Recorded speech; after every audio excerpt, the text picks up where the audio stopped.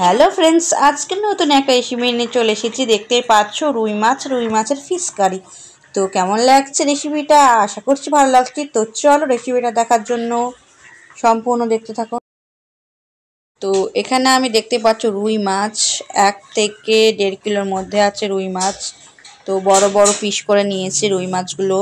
ধুয়ে জল ঝরাতে দিয়েছিলাম রুই মাছের। তো আমি এবার রুই মাছে দিয়ে দেব লবণ। তোমরা লবণ তোমাদের পরিমাণ মতো ব্যবহার করবে। লবণ, আর দিয়ে দেবো হলুদ গুঁড়ো। সাধারণ আমরা লবণ, হলুদ দিই। তো এটা হচ্ছে বিহারের একটা নতুন রেসিপি ফিশ কারি আর দিয়ে দেবো সামান্য লঙ্কার গুঁড়ো। আর দিয়ে দেবো রসুন বাটা। রসুন বাটাটা দিয়ে দিলাম, খুব টেস্ট হবে খেতে। এই মাছটা, এটা হচ্ছে বিহারের নতুন একটা রেসিপি তো ভালোভাবে দেখতেই পাচ্ছ, মাখিয়ে নিচ্ছি। তোমরাও ফিশটাকে ভালোভাবে মাখিয়ে নেবে। তো চলো, মাখানো হয়ে গিয়েছে, তো ঢাকা দিয়ে রেখে দেবো কিছুক্ষণ। আর এই দিকে দেখতে পাচ্ছ, রসুন নিয়ে নিয়েছি, পনেরোটা থেকে ষোলোটা, আর নিয়ে নিয়েছি সাদা সর্ষে। তো রসুন সাদা সর্ষে, আর নিয়ে নিয়েছি একটা ধনে পাতা আর কাঁচা লঙ্কা।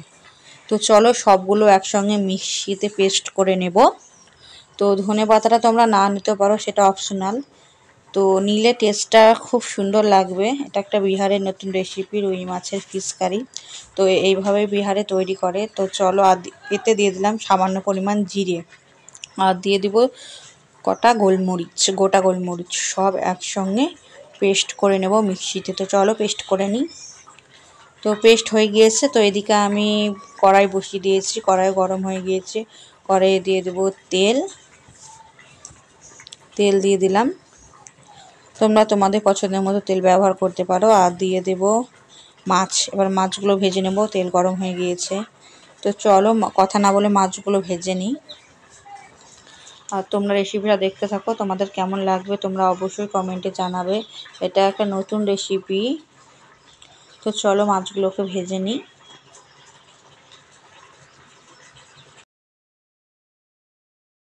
তো মাছগুলোকে উল্টে দেবো, একদিক ভাজা হয়ে গিয়েছে আর একদিক উল্টে দেব। মাছগুলো কিন্তু ভেঙে ভেঙে যাবে না, গোটা গোটায় থাকবে। তার জন্য একজন মাছ থেকে মাছ মানে ভাজতে গিয়ে কিন্তু ভেজে যায়। তো ভেঙে যায়, তো তেলটাকে খুব ভালোভাবে গরম করে নিতে হবে। তো চলো মাছগুলো ভেজে নিচ্ছি। তো তোমরাও এইভাবে ট্রাই করবে, অবশ্যই ভালো লাগবে। তো হলো মাছগুলো ভালোভাবে উল্টো পাল্টে ভেজে নিচ্ছি। তো এইভাবে ভেজে নেবে। সবথেকে কড়াই ভালো হয়। তো চলো তুলে নেব মাছগুলো। ভাজা হয়ে গিয়েছে। তো মানে নন স্টিকের থেকে কড়াইয়ে রান্নাটা করলে কিন্তু খুব ভালো হয়। মাছটাও খুব ভালো হয় ভাজা। তো চলো তুলে নিয়েছি মাছগুলো ভেজে। আর আমি এদিকে নিয়ে নিয়েছি একটা বাটি। বাটির মধ্যে দেবো এটা হচ্ছে কাশ্মীরি রেড চিলি পাউডার লঙ্কার গুঁড়ো না এটা কাশ্মীরি রেড চিলি পাউডার আর দিয়ে দেবো সামান্য হলুদ। দিয়ে সামান্য পরিমাণ জল দিয়ে আমি একটা পেস্ট তৈরি করে নেব। এটা তোমরাও যদি মনে করো এটা নাও করতে পারো, একসঙ্গে মশলার মধ্যেও দিতে পারো। তো এটা করে নিলাম। এটা করা মশলাটা যাতে পুড়ে না যায়, তার জন্য পেস্টটা করে নিলাম। তো আমি দেখতে পাচ্ছ ওইটা ছেড়ে কড়াই নিয়ে চলে এসেছি। মানে কড়াই রান্নাটা করলে খুব ভালো হয় ননস্টিকের থেকে। তো কড়াই আমি তেল দিয়ে দিয়েছি আর দিয়ে দিলাম গোটা সর্ষে। আর দিয়ে দেবো যে পেস্টটা করে রেখেছিলাম, লঙ্কার গুঁড়ো মানে কাশ্মীরের চিলি পাউডার আর হলুদের, সেই পেস্টটা আমি দিয়ে দিলাম।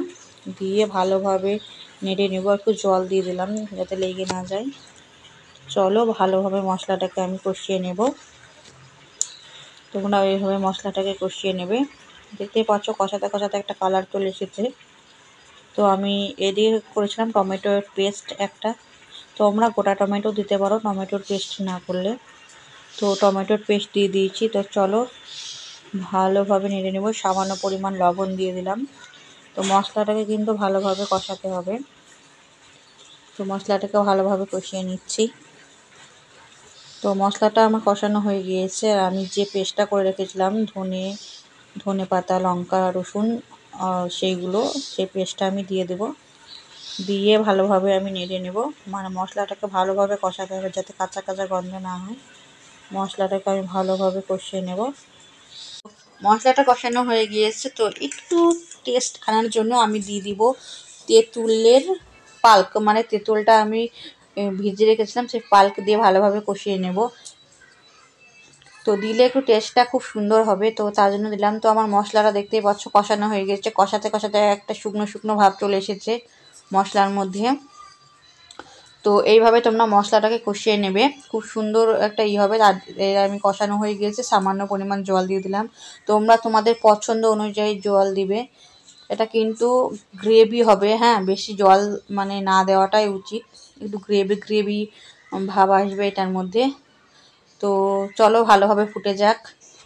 তো দেখতেই পাচ্ছ, টকবক টকবক করে ফুটছে। এবার আমি ভেজে রাখা মাছগুলো দিয়ে দেবো রুই মাছ। তো এটা হচ্ছে একটা বিহারের একটা রেসিপি নতুন। তো এটা হচ্ছে রুই ফিশ কারি। তো তোমরা বাড়িতে অবশ্যই ট্রাই করবে। দেখতে পাচ্ছ খুব সুন্দর একটা কালার চলে এসেছে। তো ভেজে রাখা তেলটাও আমি দিয়ে দিলাম। আর মাছগুলো দেখতে পাচ্ছ গোটা গোটা হয়ে আছে, একটাও কিন্তু ভাঙেনি। তো চলো, এইভাবে একটু আমি কিছুক্ষণ ফুটিয়ে নেব। তো ফুটিয়ে নিই। আর তোমরা দেখতে থাকো, আর তোমাদের কেমন লেগেছে রেসিপিটা তোমরা অবশ্যই কমেন্টে জানাবে। তো দেখতে পাচ্ছ একটা কত সুন্দর গ্রেভি ভাব চলে এসেছে। খুব সুন্দর লাগছে। তোমাদের কেমন লাগছে তোমরা অবশ্যই কমেন্টে জানাবে। তোমাদের যদি রেসিপিটা ভালো লাগে, অবশ্যই লাইক কমেন্ট শেয়ার করবে। আর বাড়িতে কিন্তু অবশ্যই ট্রাই করবে।